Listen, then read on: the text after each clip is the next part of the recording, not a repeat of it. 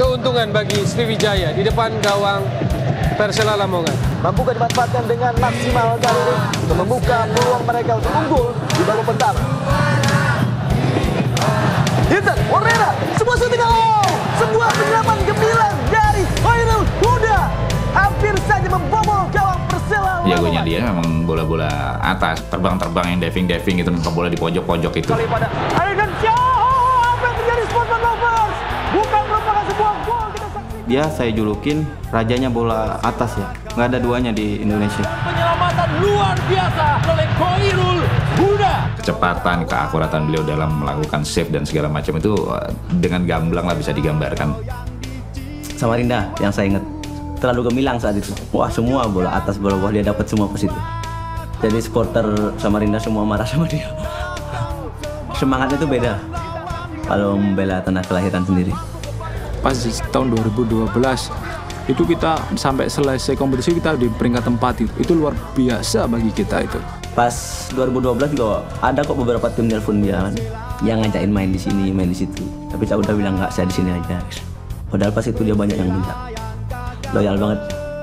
Di tengah godaan transfer yang terjadi tadi, dia tetap memutuskan eh, Persela adalah klub dia.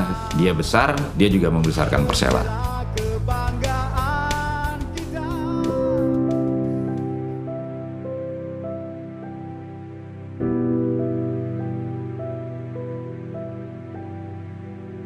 Masih belum percaya gitu kalau almarhum itu benar-benar sudah nggak ada Kehilangan Cak Uda itu benar-benar kehilangan seorang ikon lah istilahnya.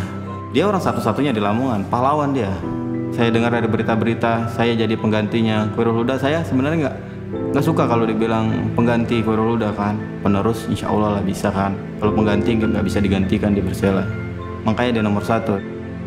Jersey nomor satu yaitu jersinya almarhum itu nanti akan dipensiunkan. Ini sebuah bentuk penghormatan tertinggi yang bisa dilakukan oleh sebuah klub terhadap pemainnya gitu ya. Jadi sampai kapan pun jersey nomor satu ini memang hanya milik almarhum seorang.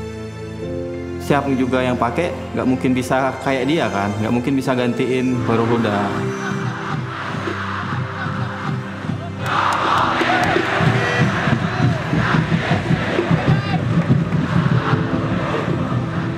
Inilah wujud penghormatan kita lah penghormatan terhadap eh, perjalanan karir dan apa yang telah almarhum lakukan selama karirnya di sepak bola profesional Indonesia.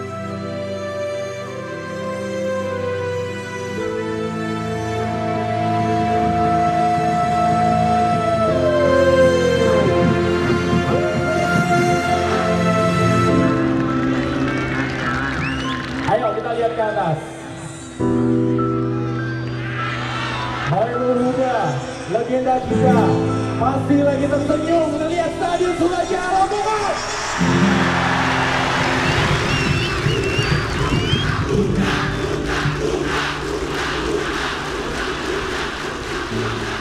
saya sebagai El Amania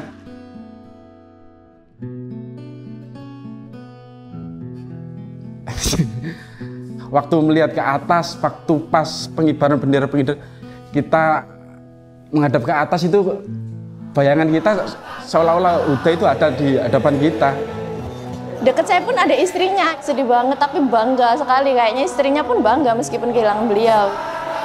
Kan saya kira itu hanya tim pengibar saja, ternyata banyak banget supporter yang turun di situ.